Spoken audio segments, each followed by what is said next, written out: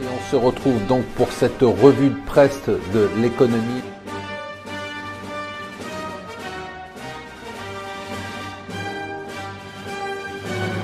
Bonjour et bienvenue sur mon financier pour la revue de presse de l'écho. Toutes nos pensées vont aujourd'hui à José Bové.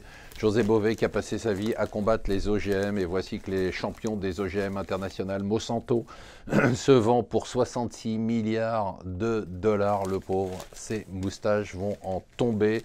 C'est le deal, euh, oh, pas du siècle, mais enfin c'est quand même un, un monstre traditionnel, Bayer allemand, qui achète une des boîtes les plus détestées au monde pour une petite fortune. Alors un petit clin d'œil à nos amis de Challenge, euh, clin d'œil parce qu'ils titrent sur, je cite, la guerre Paris-Londres, comment la place française compte rattraper la City. Alors c'est pas un conte de fait, mais enfin ils gardent l'espoir. C'est toujours sympa d'avoir quelque chose d'optimiste, même si c'est totalement irréaliste. Alors en France, on sait qu'on a le tourisme, les vins, le fromage, le luxe eh bien maintenant on a la fiscalité. On est les champions du monde de la fiscalité. On le savait déjà pour les prélèvements. Ce qu'on ne savait pas, c'est qu'on avait un des taux de prélèvement et de recouvrement les plus élevés au monde, c'est-à-dire que les Français payent leurs impôts. Et maintenant, ceux qui ne payent pas leurs impôts, on arrive à reprendre le pognon. La lutte contre la fraude fiscale a atteint un sommet, 21,2 milliards récupérés l'année dernière.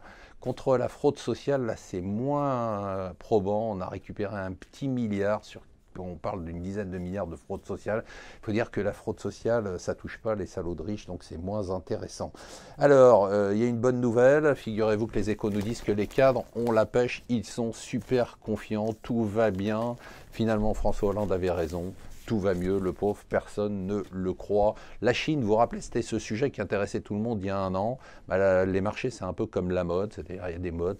la mode, c'était la Chine, c'était la mode été 2015, la mode été 2016 et automne 2016, c'est bien évidemment la Fed. Et pourtant, il se passe énormément de trucs en Chine et notamment sur le yuan qui continue à baisser jour après jour régulièrement parce que la Chine veut dévaluer discrètement sa monnaie pour relancer son économie. Elle fait semblant d'intervenir. La Banque centrale est intervenue cette nuit pour freiner un tout petit peu la chute, pour que tout ça soit en dehors des radars des G7 et des G20 et pour ne pas se faire engueuler.